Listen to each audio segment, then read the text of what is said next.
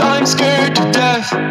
Scared of your eyes looking into my eyes. Scared that I'll back out and hold my breath. Wake up one morning and see your face, I can feel it coming back. These shivers are every day.